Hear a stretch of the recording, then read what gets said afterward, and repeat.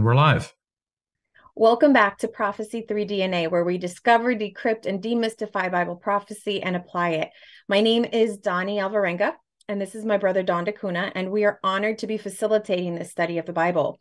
Over the m- more recent weeks, we've been really diving into the book of Revelation, and what we discovered is that, well, we've talked about this at length, how the Bible is in a uh, what's the what's the word again when it's chiasm chiasm. It's in a chiasmic structure. And so it basically repeats the same thing over and over in a rhythmic pattern, if you will. And what we discovered is that in Revelation, it talks about, you know, um, seals and it talks about churches and it talks about angels, right? And so what we've discovered is that all of those kind of overlap, talking about specific time periods, and they're giving us a specific message. Well, this last cycle that we've been in, we've been talking about um, how the first way that the enemy tried to attack us was to try to wipe us out, right? To wipe out God's people.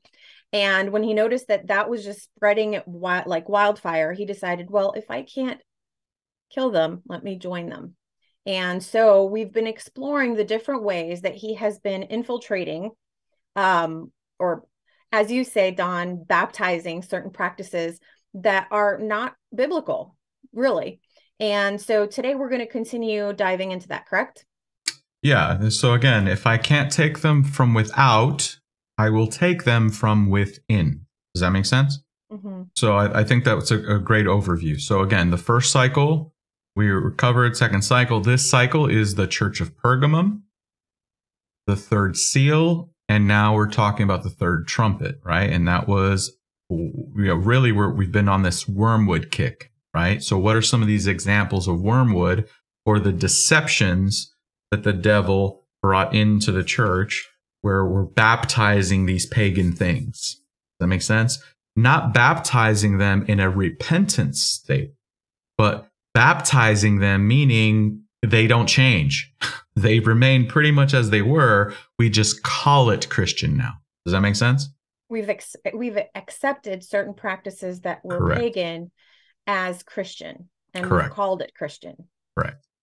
So uh, let's go ahead and pray to start us out. So if you don't mind, go ahead and pray. Yes. Our Father in heaven, thank you so much for um, your wisdom and you know your grace in revealing all these, these things to us. Lord, we pray that your Holy Spirit be with us now and that your Spirit lead us to all truth. In Jesus' name I pray. Amen. Amen.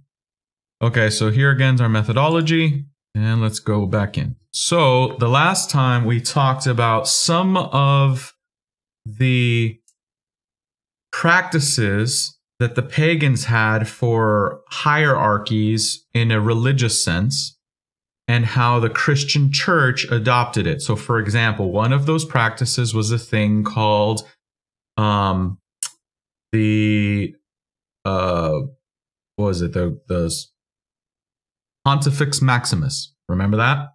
Mm-hmm. Okay, the, the great bridge builder, the supreme bridge, bridge builder. So basically, the intercessor between the gods and the men. Okay, that title went from a pagan priesthood to a Christian priesthood. All right, we talked about the College of Pontiffs became the College of Cardinals. We talked about how the Vestal Virgins became nunnery practices. Okay. So some of these hierarchical classes that the church brought on, or that, that the pagan uh, religions had, became Christianized. All right. What we're going to do today is we're going to talk about some pagan holidays and observances that became Christian. And you'll notice here, they're in little quotes, okay? Christian holidays and observances, right? So the, again, this is a deeper study. We're going to study historical pagan holiday and observances, some some pagan gods, and how they have extreme similarities to Christian holidays and observances.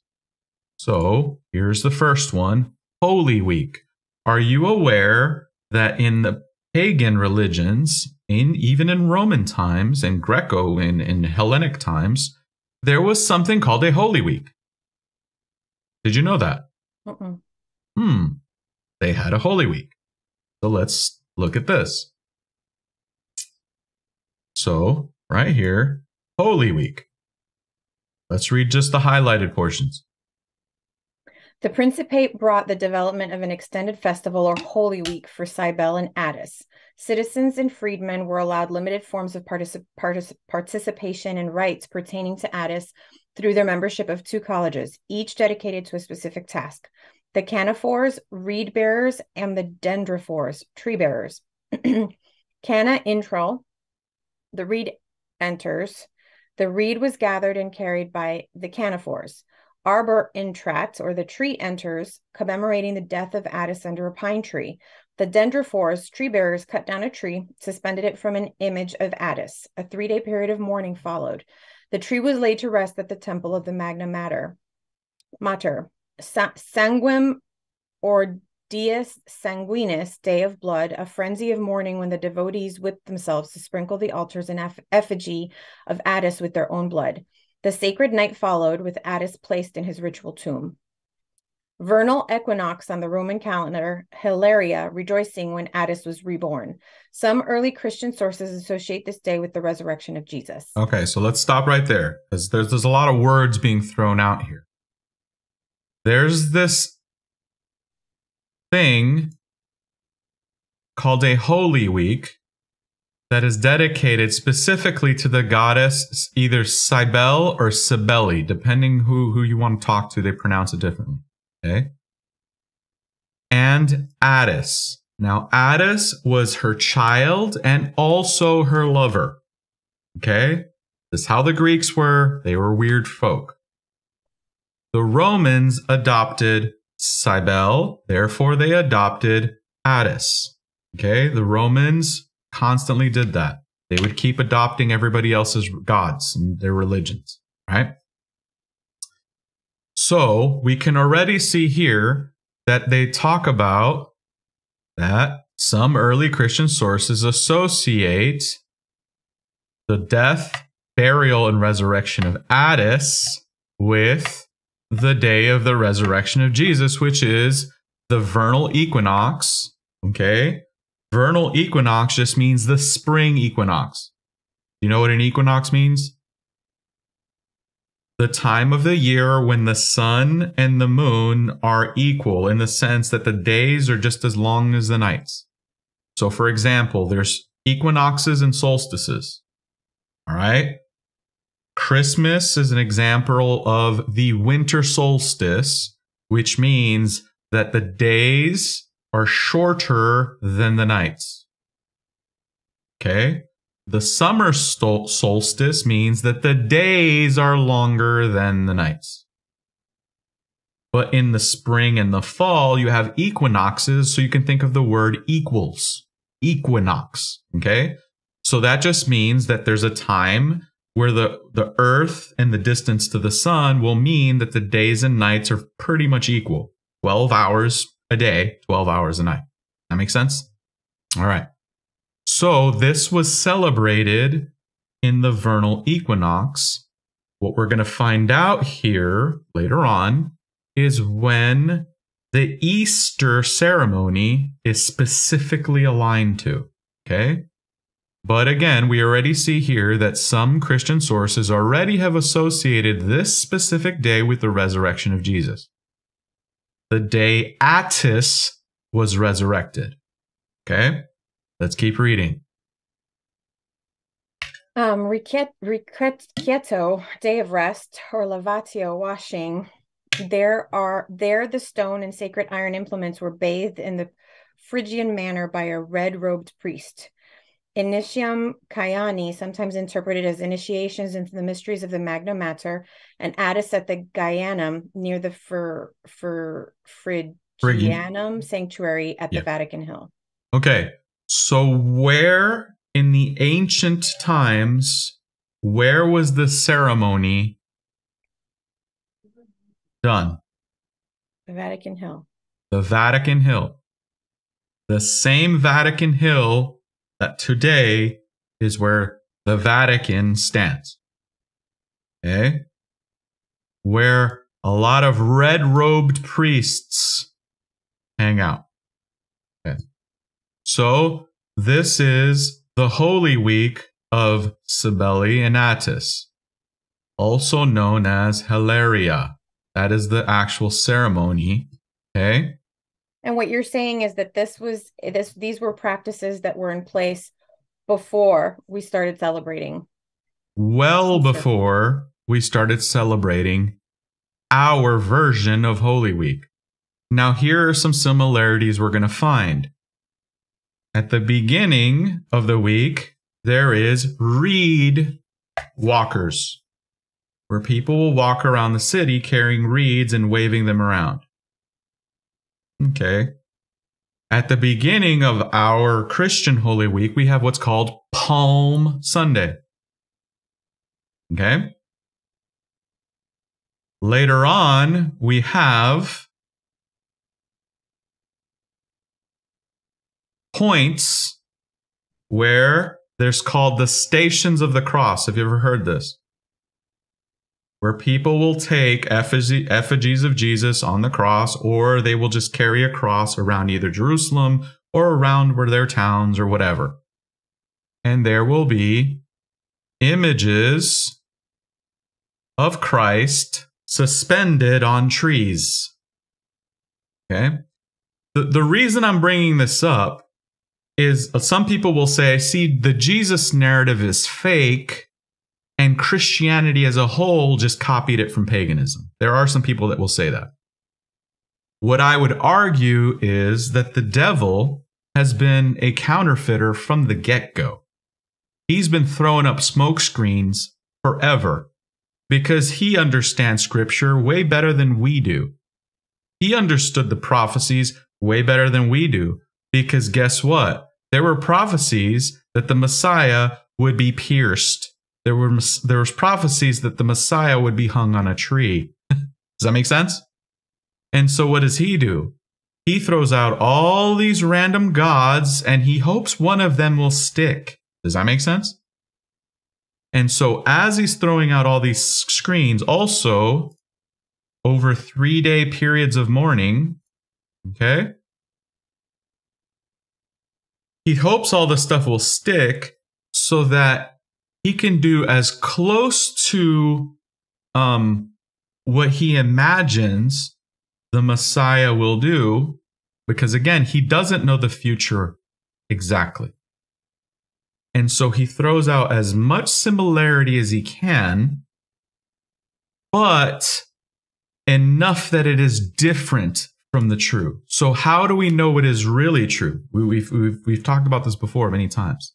We have to study the original to truly understand what is real. We, you don't study the counterfeit, you study the original. So you can spot the counterfeit. So now we can see a lot of counterfeit stuff here. Does that make sense? Mm-hmm. Okay. So we're not going to go through fine tooth comb here because because we really don't have time. We have a lot to cover. Okay.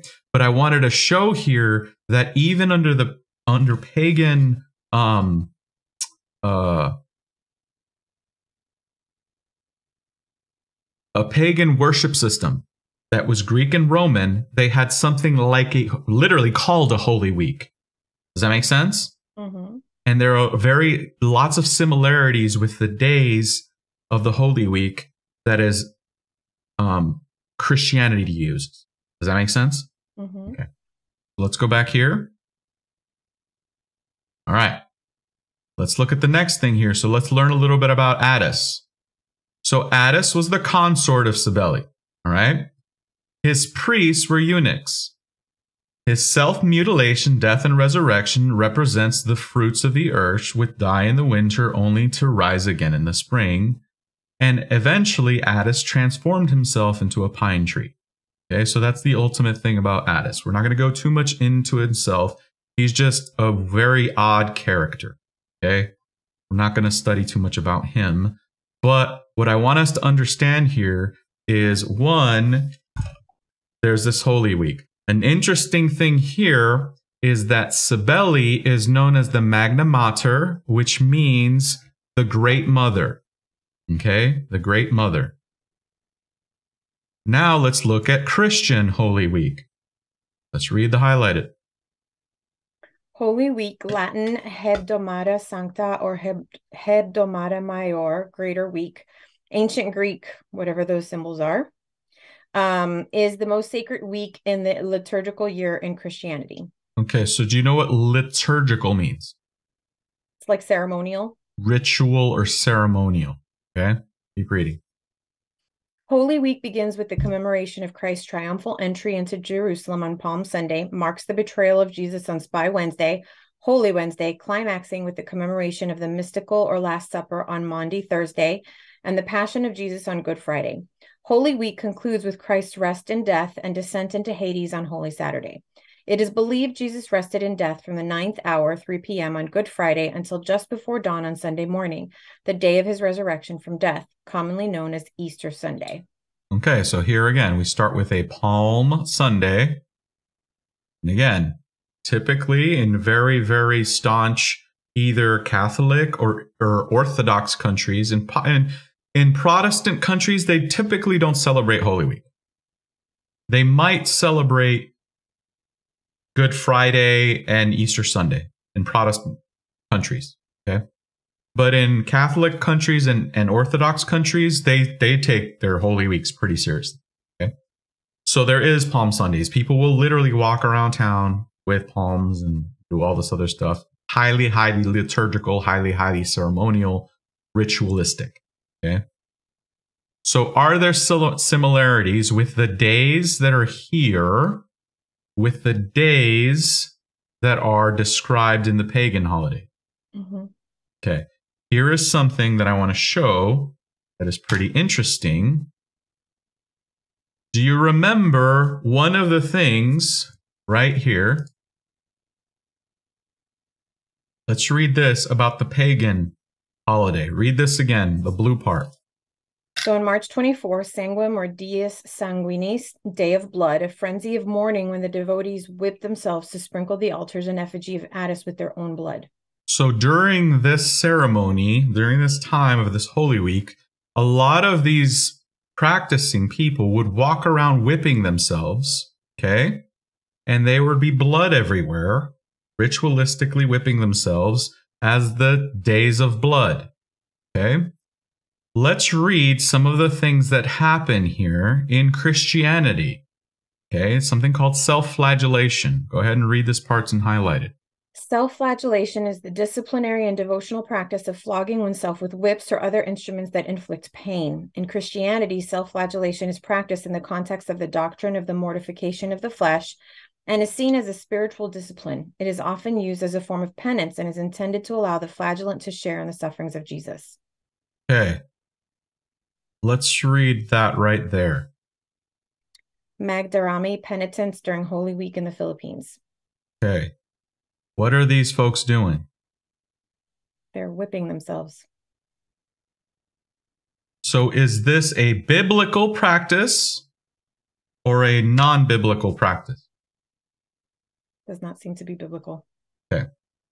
Here's the next one, which is megalesia, or I'm not even going to try to pronounce that because it's actually a, um, like I think it's like a Saxon term. Okay, so this is like like old uh, Germanic tribe language. So I'm not even going to try to pronounce it.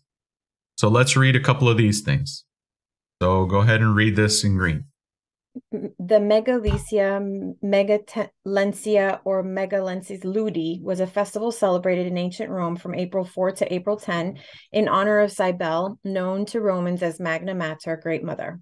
Okay, so the Megalesia follows Holy Week. So at the conclusion of Holy Week, you have this new festival. Okay? Holy Week concludes and this new Cybele or Cybele festival kicks in. All right. Let's read a little bit about Cybele. She's an Anatolian mother goddess. She became partially assimilated to aspects of the earth goddess Gaia and of the harvest mother goddess Demeter. She had a eunuch mendicant priesthood in Rome, Cybele became known as Magna Mater, Great Mother. Okay. And now we're going to learn about the Germanic version of the same goddess. So, Ostro is a West Germanic spring goddess. She is the namesake of the festival of Easter in some languages. The Old English pagan Anglo Saxons had held feasts in Ostro's honor, but that this tradition had died out by his time, replaced by the Christian Paschal month of celebration of the resurrection of Jesus. Okay. Iastre, that's her name, also known as Ostara. Okay? Eostre. Eostre. Eostre's ceremony and celebration she is also the same thing. She is all these things that were attributed to Cybele are attributed to Eostre, the spring goddess, the earth goddess, the, the, the, the, the fertility goddess. Does that make sense? But for the Anglo Saxons. Okay? Read this last part again. Pagan Anglo Saxons had held feasts in Eostro's honor, but that this tradition had died out by his time, replaced by the Christian Paschal month, a celebration of the resurrection of Jesus. Okay, so what happened to the Eostre tradition? It was replaced by G- the celebration of Jesus. Was baptized. Keep reading. Well, well, we'll read more on this later. We'll read more on that later. Let's read this. Just the highlighted? Yep. So the hare was the sacred animal of Ostara. The hare was originally a bird and was changed into a quadruped by the goddess Ostara. In gratitude to Ostara or Eostre, the hare exercises its original bird function to lay eggs for the goddess on her festal day. Hares were frequently seen in gardens in spring and thus may have served as a convenient explanation for the origin of the colored eggs hidden there for children. Alternatively, there's a European tradition that hares laid eggs, since a hare scratch or form and a lapwing's nest look very similar. And both occur on grassland and are first seen in the spring. In the 19th century, the influence of Easter's cards, toys, and books was to make the Easter hare rabbit popular throughout Europe. German immigrants then exported the custom to Britain and America, where, where it evolved into the Easter bunny. Okay. So, was there any question before where the hare or Easter egg came from, or the the the the, the bunny or the egg came from? Mm-mm. No, they understood it as that hares laid eggs, and that Ostara or Eostre granted the, change them from birds to hares. Okay. I'm not saying that that's actually what happened, but I'm saying that's what they believed the goddess did. Does that make sense? Mm-hmm. Okay. Keep reading. A holiday named for the goddess is part of the neo pagan Wiccan Wheel of the Year. Ostara 21 March. In some forms of Germanic neo paganism, Eostra or Ostara is venerated. Among adherents, Eostra is associated with the coming of spring and the dawn, and her festival is celebrated at the spring equinox. Okay, so is Wicca still practiced this day? Yes. Is Wicca a pagan religion? Yes. Okay. They still venerate Eostra that make sense? Mm-hmm. Okay. I just want to put that out there. Now, let's look at the Christian. Let's read this. Easter, also called Pascha, Aramaic, Greek, Latin, or Resurrection Sunday, is a Christian festival and cultural holiday commemorating the resurrection of Jesus from the dead. The First Council of Nicaea established only two rules, namely independence from the Hebrew calendar and worldwide uniformity. Okay. When was Easter established? 325. When is the trumpet blowing? I don't remember. uh, between the fourth century and the sixth century.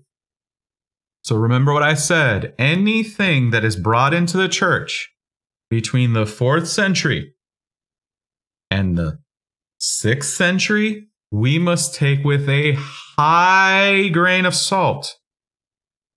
That makes sense. So, did the apostles do this? No. No, they did not. When did this get brought into the church that everybody and their mother says, We're cool with this now? There, 325. Wormwood. Keep reading. And oh, by the way, right here. Look at this. Mm-hmm. So it needed independence from what specific calendar? The Hebrew. So when God set up his his um religious observations, what did he attach it to? The days of creation. And and okay, so the days of creation. But specifically when when when God gave any kind of holidays, right? So he had his holidays. There was Passover, the Feast of Unleavened Bread. Remember, we covered all of these in one of our previous uh, sessions, right? Or, or, we did a whole series on this. There were all kinds of different things. Which calendar was it established? God was establishing what which calendar? The Hebrew, Hebrew calendar. Does that make sense? Mm-hmm. The Hebrew calendar is designed after the biblical calendar the calendar God gave the Hebrews. Does that make sense? Mm-hmm. For example, when the Israelites left Egypt and, and the Passover happened, God said, This is day one for you. This starts a new year for you. This is Happy New Year. Does that make sense? Mm-hmm. From here, we start your new calendar. And every other calendar event proceeds from this day. I'm not saying we have to follow the Hebrew ritual calendar necessarily. That's not what I'm prescribing here. But the Easter calendar, one of the things that they needed to do specifically was that it needed here. There's only two rules for this. We have to decouple it from the Hebrew calendar. So if you're purposely decoupling it from the Hebrew calendar, what are you decoupling it from? God's calendar. God's calendar. Does that make sense? We're decoupling God's resurrection from God's calendar. And oh, by the way, it needs to be adopted worldwide. Everybody's got to do it. So it can't be the one that God wanted it. It has to be the one that everybody else does.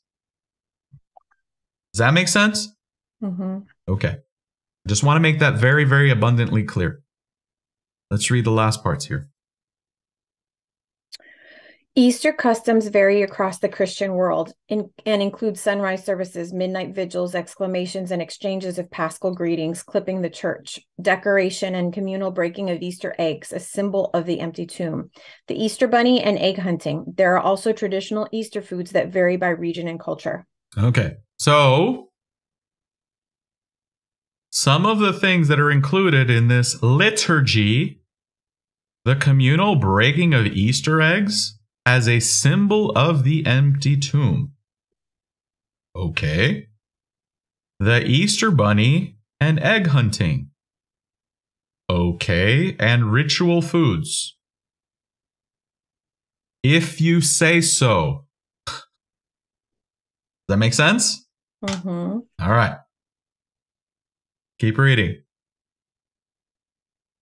Um, in some traditions, the children put out their empty baskets for the Easter bunny to fill while they sleep. They wake to find their baskets filled with candy and eggs and other treats. Treats. A custom originating in Germany, the Easter bunny is a popular legendary anthropomorphic Easter giving gift giving character analogous to Santa Claus in American culture. Historically, foxes, cranes, and storks were also sometimes named as the mystical creatures. Since the rabbit is a pest in Australia, the Easter bilby is available as an alternative. Okay, so here we have a lot of problems with this, and this again is under the same Easter heading. Okay, this this is Easter stuff. We're not we're not talking about pagan stuff now. This is under the Easter umbrella. Okay, so we already read that it originated in Germany, but remember what the how did the Germans see this? Did they see this as a, a Christian thing, or did they see this as a celebration to Ostara or Eostre? Okay, it Wiccan practice and it's a current Wiccan. Well, it's a Eostre is observed as a Wiccan goddess. She's venerated as a, a Wiccan goddess currently. They don't believe in Easter bunnies. That's not what I'm saying. Wicca's Wiccans believe, but I'm saying that's what back in the day the original believers in Eostre did. Okay, but here is a popular legendary anthropomorphic Easter, blah, blah, blah, analogous to Santa Claus in the American culture. So again, we all know that it's not a real thing. So if it's one of those things that's not a real thing, then why are we bringing it in and Christianizing it? Okay? Here it's talking about other acceptable replacements for the mystical creature storks, rabbits. Okay. Even so much so that in Australia, rabbits are frowned upon, so you can use a bilby instead, which is a small kangaroo. Okay. An Easter bilby. And then here we'll do the last part, which is the eggs. The egg is an ancient symbol of new life and rebirth. In Christianity, it became associated with Jesus' crucifixion and resurrection. For Christians, the Easter egg is a symbol of the empty tomb. Okay. Where in the Bible does it say this? Nowhere. But the church saw that the practice was being used for pagan means. So they what? They co-opted. It. They co-opted. it. They baptized it and say, "Well, that's the empty tomb. Ha ha! Let's go find it." You get an extra bonus one if you find little baby Jesus inside one. Okay. Or if it's golden on the outside. Whatever it is. Here's the next one: Saturnalia. Let's read this. Um, Saturnalia is an ancient Roman festival and holiday in honor of the god Saturn, held on 17 December of the Julian calendar and later expanded with festivities through to December 23 December. The holiday was celebrated with a sacrifice at the Temple of Saturn in the Roman Forum and a public banquet followed by private gift giving, continual partying, and a carnival atmosphere.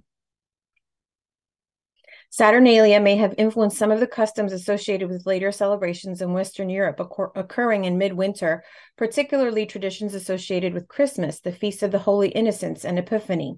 In particular, the historical Western European Christmas custom of electing a Lord of Misrule may have its roots in Saturnalia celebrations. Okay. So there's Saturn- Saturnalia. Now let's talk about Christmas.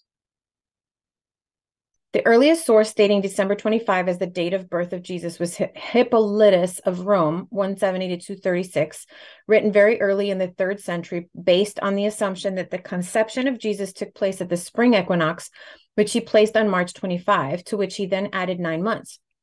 There is historical evidence that by the middle of the fourth century, the Christian churches of the East celebrated the birth and baptism of Jesus on the same day, on January 8, while those in the West celebrated a nativity feast on December 25, perhaps influenced by, influenced by the winter solstice, and that by the last quarter of the fourth century, the calendars of both churches included both feasts. Okay, so there's a lot to digest here. Okay. But the reason why some people will say Jesus was born on December 25th is based on what? The assumption that his conception took place in the spring equinox. So, first and foremost, it's based on an assumption. I don't care what the assumption is, but it's based on an assumption. Okay? Number one. Just want that to be very, very clear. It's based on an assumption. Okay. And it's not only based on an assumption, it's based on the assumption of the day of his conception.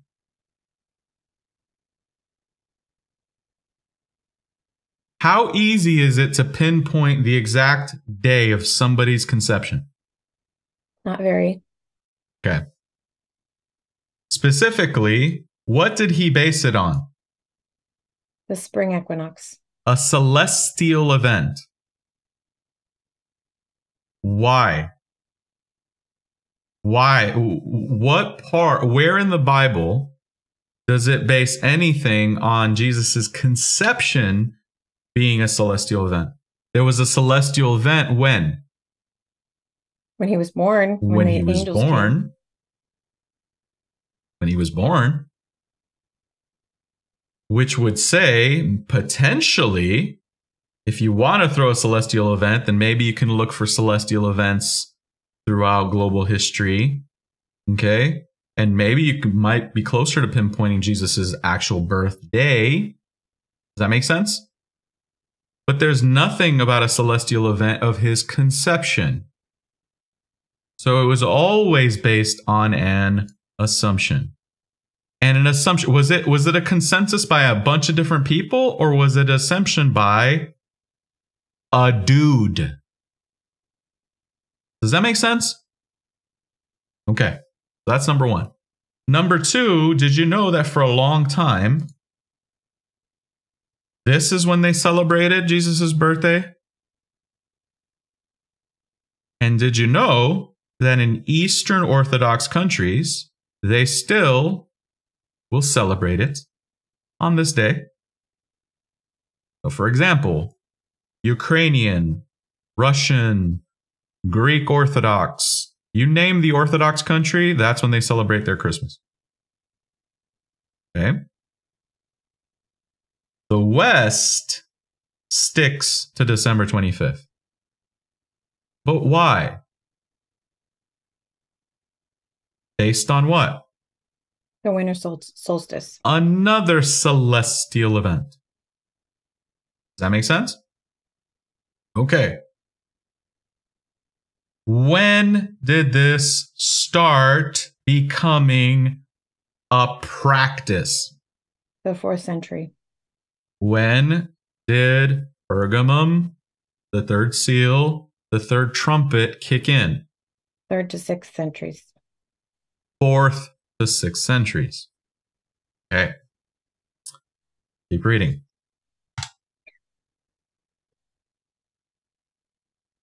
We're going to read a lot here now.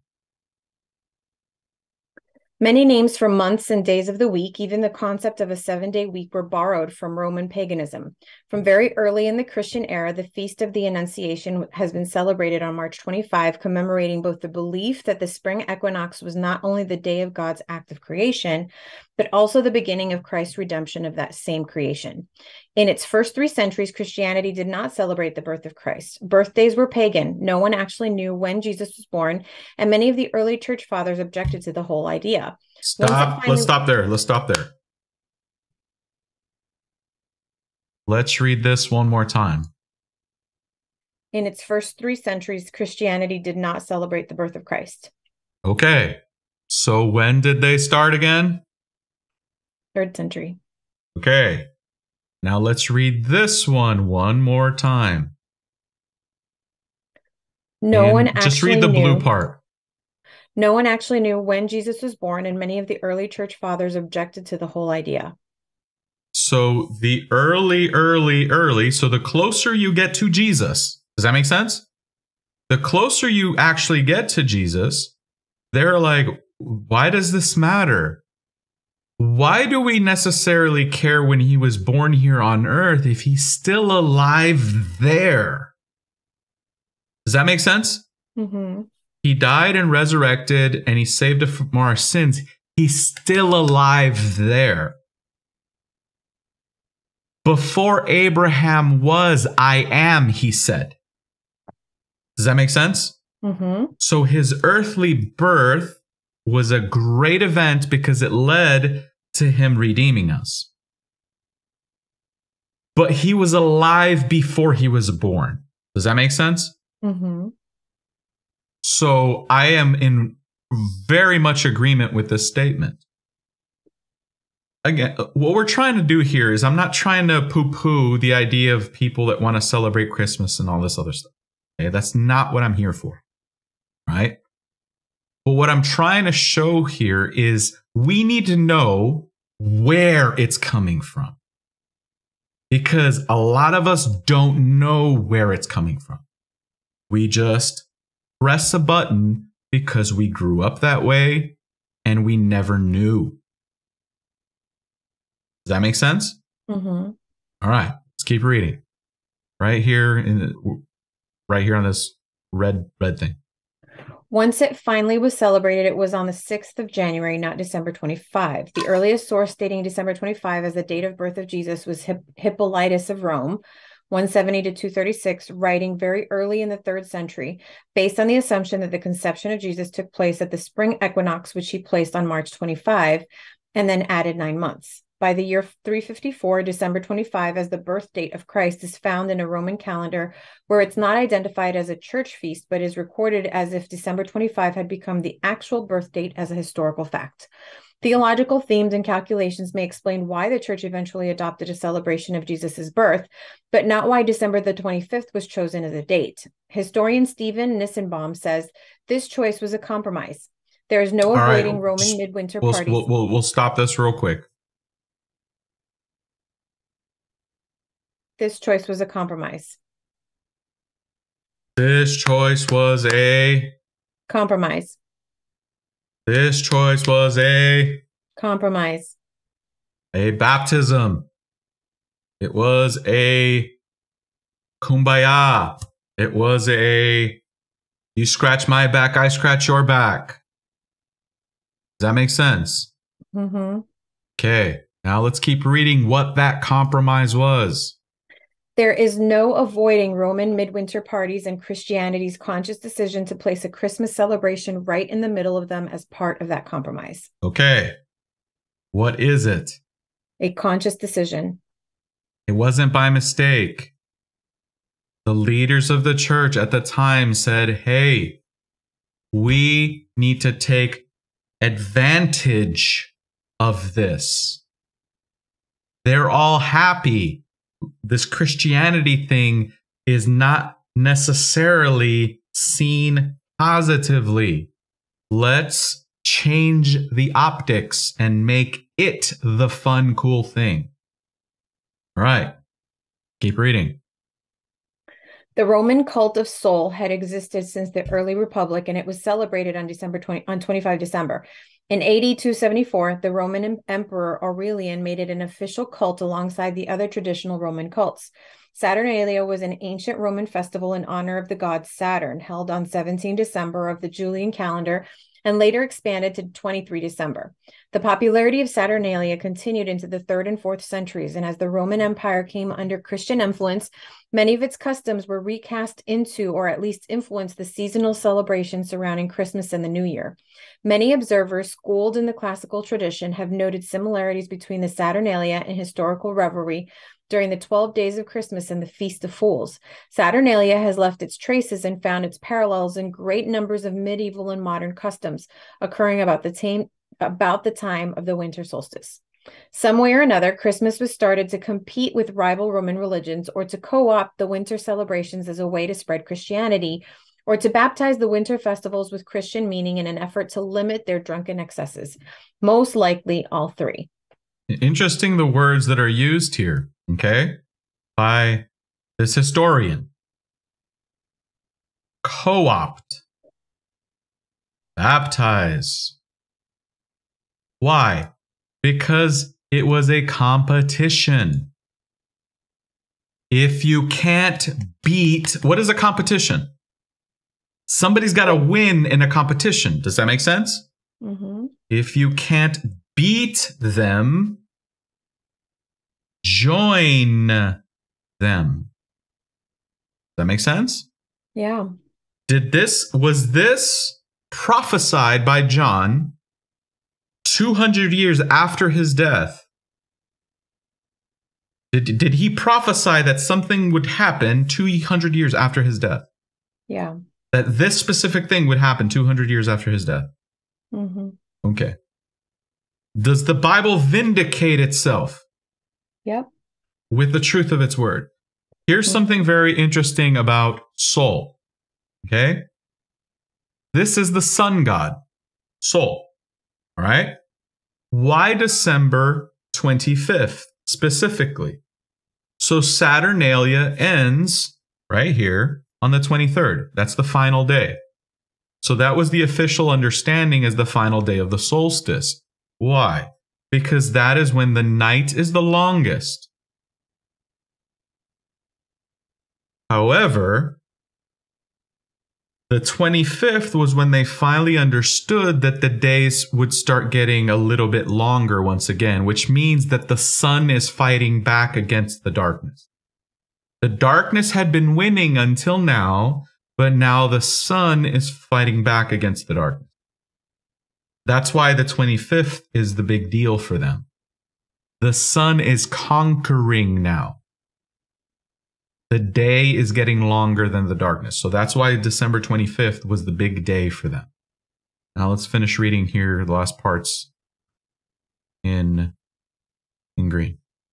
With the spread of Christianity, some of the local Germanic solstice celebrations, midsummer festivals, were incorporated into St. John's Day festivities, notably for the evening before. Martin Luther King Jr. wrote about this connection while in late 1949 or early 1950, noting that the place of Bethlehem selected by early Christians as Jesus' birthplace was an early shrine of a pagan god Adonis. Okay, so even Jesus' birthplace in Jerusalem was a previous pagan shrine.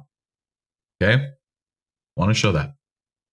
Now the last one before we we we close out this holiday observances. Dies Solis, which is basically Sunday, okay? Dies means day in, in, in Latin, and solis means sun. So the days of the sun are the Sunday. So let's read this. And now we're going to learn again about Sol, the sun god.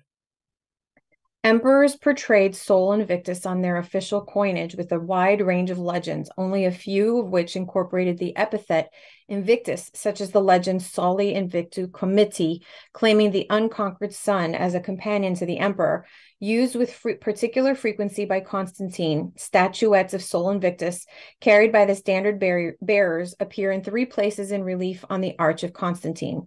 Constantine's official coinage continues to bear images of Sol until 325 326. A solidus of Con- Constantine, as well as a gold medallion from his reign, depict the emperor's bust in profile twinned Jugate, Jugate with Sol Invictus, with the legend Invictus Constantinus. Constantine decreed Dies Solis, this day of the sun, Sunday, as the Roman day of rest. On the venerable day of the sun, let the magistrates and people residing in cities rest and let all workshops be closed. In the country, however, persons engaged in agriculture may freely and lawfully continue their pursuits because it often happens that another day is not suitable for grain growing or vine planting, lest by neglecting the proper mom- moment for such operations, the bounty of heaven should be lost. Okay. So here's a couple of things to understand about Constantine. He was he was also known as the first Christian emperor because he was pagan first, then he became Christian. So that's one. This is him pre-Christian. Okay, so this is while he's still a pagan. And who was his deity of choice? The sun. The sun. He was a sun worshiper. All right. So much so that he made the Sunday the day of worship throughout his entire domain. Okay. He made a Sunday Sabbath. Interestingly enough, it was only for who? People in the cities. Only for the people in the cities. So city dwellers rest on the Sabbath, his Sabbath. Okay, not God's Sabbath, a human's Sabbath. That makes sense? But if you're a country worker, keep doing what you're doing. You don't get a Sabbath. Does that make sense? Mm-hmm. So there's there's a Sabbath by classes. Depending on what your function is in society, you get a Sabbath or you don't. Right? And it is a law. This is enforceable. Does that make sense? Mm-hmm. Magistrates will walk around the cities to ensure hey, you need to be closed, you need to be closed, you need to be closed, you need, you need to be closed. Okay? No working on Sunday. All right. This is a pagan rule. Again, prior to Christianity. Yeah, just want to make right. that clear. Now there's something in Christianity called the Lord's Day, which happens to be on Sunday as well. Let's look at some of this stuff here. So, there was a council called the Council of Laodicea. So go ahead and read this. The Council of Laodicea was a regional Christian synod of approximately 30 clerics from Asia Minor, which assembled about 363 to 364 in La- Laodicea. All right. So now, when did this happen? 363 to 364. How many folks were involved? 30 clerics. Okay. 30 guys in a very suspect time frame. Be very, very, very, very careful where your doctrines and your teachings come from. Okay? Let's look at some of the things that were their concerns during this time frame. So, major concerns included maintaining order among bishops, clerics, and laypeople, canons 3 to 5, 11 to 13, 21 to 27, 40 to 44 and 56 to 57, enforcing modest behavior of clerics and laypeople, regulating approach to heretics, Jews, and pagans, outlawing the keeping of the Sabbath Saturday and encouraging rest on Sunday, outlining liturgical practices, restricting during Lent, restrictions during Lent, admission and instruction of cate- catechumens and neophytes, and specifying a biblical canon. So we're actually going to pull up these specifically Canon 29 to see exactly what it does say, because we, we have a copy of it. But I will tell you that all of these canon laws are extremely problematic. Canon 29, probably the most problematic. Okay. I would argue it's probably um, wrong. I will 100% categorically tell you it's wrong. Okay. But let me just give you some, some caveats on these. Maintaining order among bishops, clerics, and lay people. By order, it means bishops are here, clerics are here, lay people are here. That make sense? We must maintain this order. We are here. You guys are somewhere down here enforcing. I'm not going to go any further than that because there should be no enforcement in the church. Regulating approach towards who? Heretics. That's a problem. Against who? Jews. That's a problem. And against who? Pagans. Okay. So even Jesus, when he sent his apostles to go minister around Judea, and he said, If you're confronted with somebody that disagrees with your preaching, do you remember what he told them to do? Dust your sandals. And do what? Move on. Move on. Should you do anything of harm or of neglect to them? No. Okay we'll again we'll cover canon 29 in a second outlining ceremonies and rituals again we're not going to cover every little thing here but there's a lot of problems with a whole list of of their ceremonies and rituals restrictions during lent here's a problem is lent biblical no so why would there be any restrictions Admissions and instructions to catechumens and neophytes. Do you know what catechumen mean? No. The cattle. Do you know what neophytes mean? No. The very, very unlearned. So what are they saying? They're comparing the unlearned to animals. No, they're they're two categories. Okay. Neophytes are the people that just just the baby Christians, that's what they consider neophytes. And catechumens are they're not just lay people. So lay people would be people that actually want to help within a church community. Does that make sense? Mm-hmm. Catechumen are the people just showing up to church that do nothing. They are cattle. This is a nice way of saying it. It, it, it catechumen, the, the, the, the way it is, is just basically the basic people. That, that's kind what of the means. whole idea of the herd mentality. It's herd mentality, but the, the actual word catechumen means the cattle. Okay. But ideally, it just means the normal people. So, so again, you have here the bishops are the highest of the high, the overseers of, of grand things. Clerics would be a local clergyman, right? So a local priest. Lay people would be that the ones that help the priest in their function at church. Does that make sense? Like a deacon. Okay. Catechumens are the people that show up, they put their money in the thing, and then they go home. They listen to the sermon and they're just happy to be there. A neophyte would be a new person that just joined.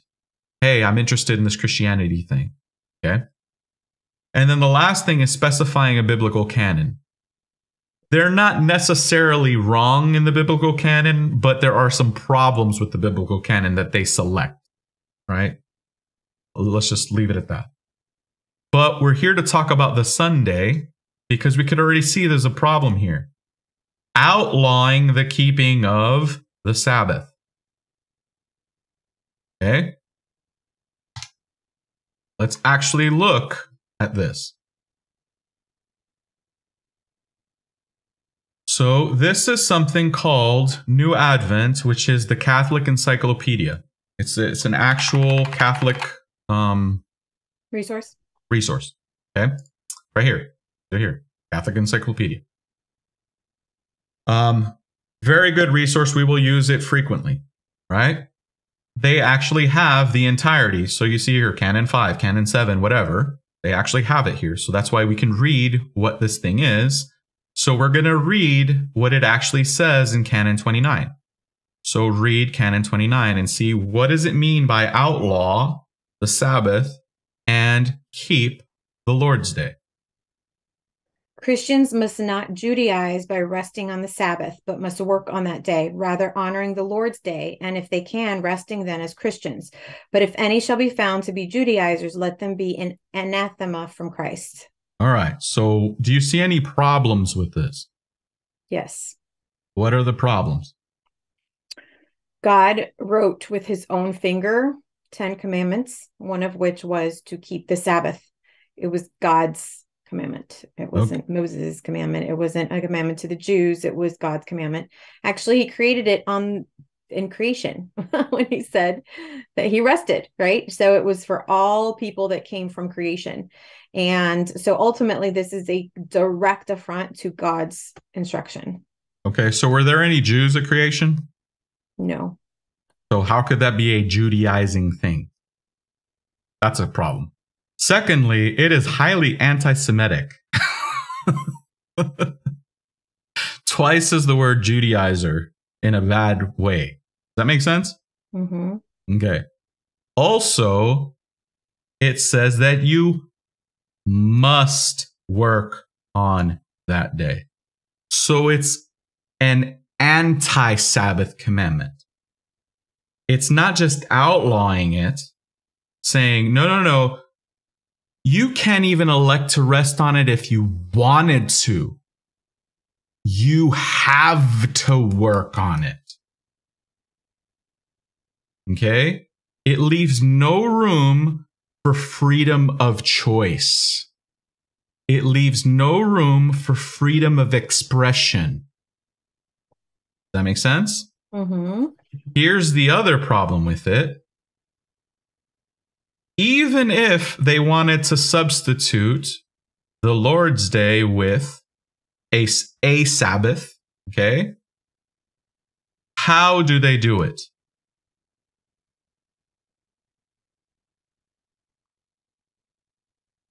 I'm not sure if I understand where you want to go. What does it say right there in blue that I just highlighted? If they can. So they don't have to rest, but if they can, they should. Eh, it's optional. So it's not an option for you to actually keep the Sabbath, but it is an option if you want to keep the Lord's Day. Does that make sense? Mm-hmm. You can, you're not allowed to rest on Sabbath, but if you want to rest on Sunday, you can. You don't have to rest, but you can. Not only that, but you are cursed from Christ if you rest on the day that Christ said, I am the Lord of. Okay. Now let's read, and this will be the last part. Let's read a couple of things. Again, we're back in New Advent, the Catholic Encyclopedia, and let's see what they say about Sunday. Okay, let's read what they say about Sunday. Sunday, day of the sun, as the name of the first of first day of the week. Sunday was the first day of the week according to the Jewish method of reckoning, but for Christians it began to take the place of the Jewish Sabbath in apostolic times as the day set apart for the public and solemn worship of God. It is called the Lord's Day. Okay, let's stop right there. Is this factual what they said here?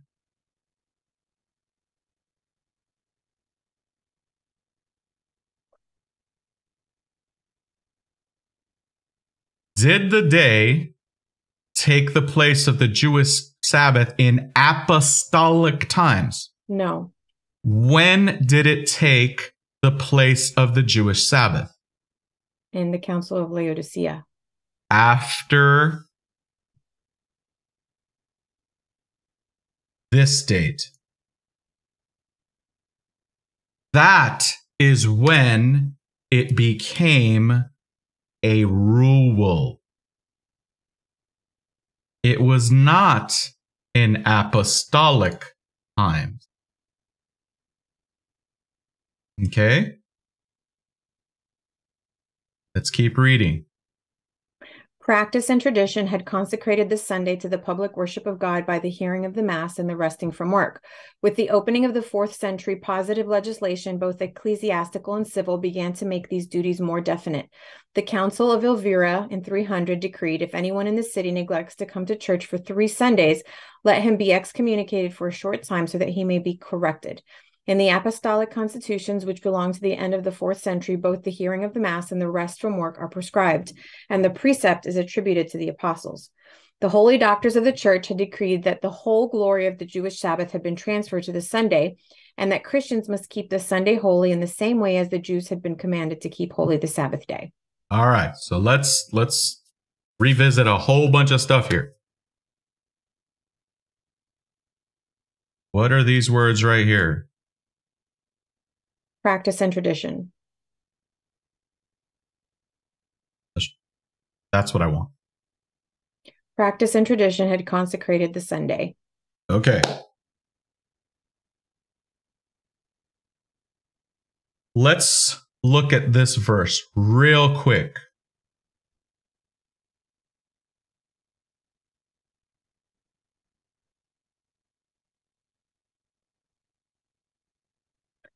On the seventh day, God completed his work which he had done, and he rested on the seventh day from all his work which he had done. Then God blessed the seventh day and made it holy, because on it he had rested from all his work which he had created and made. Okay. God blessed it and he made it holy. Okay. Right here in the Bible, it says, God blessed the seventh day and made it holy. Here we have practice and tradition, consecrated means to make holy. Okay? Practice and tradition made holy the Sunday. Now let's read this. The holy doctors of the church had decreed that the whole glory of the Jewish Sabbath had been transferred to the Sunday. Okay. Who decreed? The holy doctors of the church. When did they do this? In the fourth century. How did they do this? With legislation, both ecclesiastical and civil. What were the two means? Ecclesiastical, which is religious, and civil, which is um, secular. Church and, and state. Could they do this through hearts and minds? How did they have to do this? They had to enforce it. Had to be enforced. So if something had to be enforced, was it the fact that everyone was doing it since apostolic times? Okay. Let's read this last part and then we'll be finished. A council of Laodicea held toward the end of the fourth century was content to prescribe that on the Lord's day the faithful were to abstain from work as far as possible. Others showed an inclination to apply the law of the Jewish Sabbath to the observance of the Christian Sunday.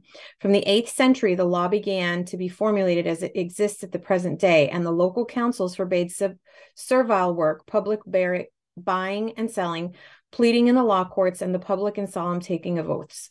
There is a large body of civil legislation on the Sunday rests side by side with the ecclesiastical. It begins with an edict of Constantine, the first Christian emperor, who forbade judges to sit in townspeople to work on Sunday.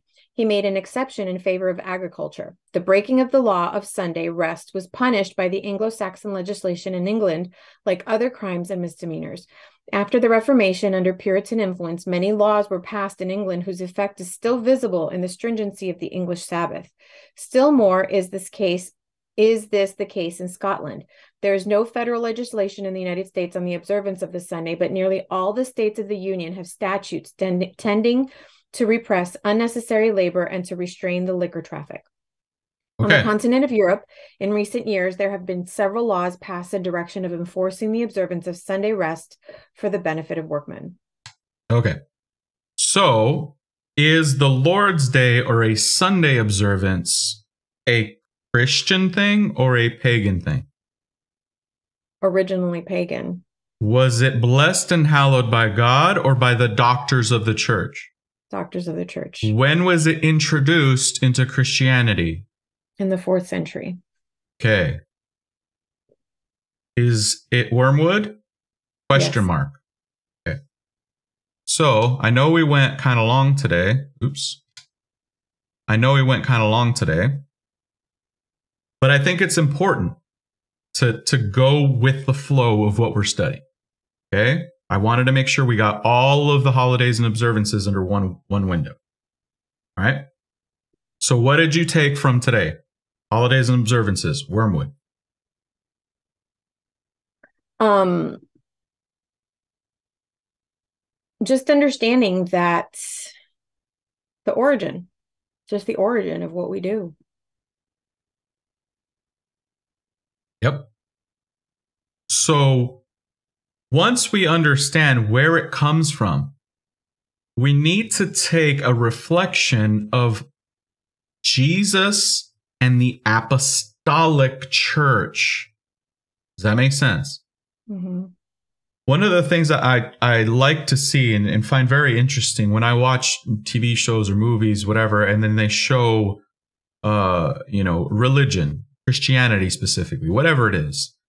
And it, and it always like fascinates me to see like these amazing monolithic churches, whether it's a cathedral or a, a really, um, you know, these mega churches we have in the South in the United States or in the West Coast or whatever it is. And I think about the Jewish system and and I think it's like that's what Jesus came from. Right? When Jesus came, he tried to reform Judaism. Does that make sense? So if Jesus came to reform Judaism, and then we look at what Christianity is today, how far off are we from Judaism? Does that make sense? The clothes we we wear, I'm, and I'm talking about the, the, the people. I'm talking about the the clerics. Does that make sense? The priests and the reverends and the, the, ministers and the whoever's running things. Okay, the buildings themselves, the statues, or the the the the the, the cups they carry, or the the smoke that's around the place. How far off of that of Judaism? And Jesus came to reform Judaism because he saw that Judaism was problematic. And yet, we don't even know what Christianity comes from and what's infiltrated Christianity.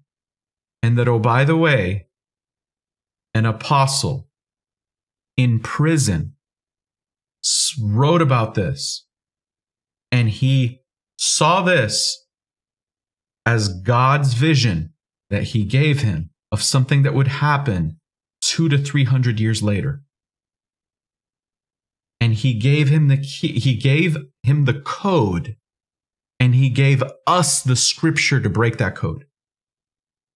To show how the devil would infiltrate his church, to try to, to, to make us lost from within does that make sense? And yet, because we don't study, we don't even know. We don't know how far off we are. Does that make sense? Mm-hmm. So, um, next week, what we're going to study is, uh, what is it? Um, philosophies and practices. Okay. And so again, I'm sorry we went, we did go late. It's probably a really long one, so I'm sorry. But I need to get the whole thing in there. So I'll go ahead and pray to close this out. Dear Heavenly Father, thank you uh, for giving us this time that we can go through and study these th- these things, Lord, to hopefully unmask and unravel some of the things that the devil has tried to to hide in the shadows, Lord, for so long, and and to you know disguise as things that you would like or you would want us to do, Lord, but yet they are things that He's been doing to counterfeit you and your mission for such a long time. Lord, I pray that this message goes far and wide and that there are those out there that will see this and hopefully they will go back into your word and learn what you did, Lord, and reflect your character to others. In Jesus' holy name. Amen. Bye bye.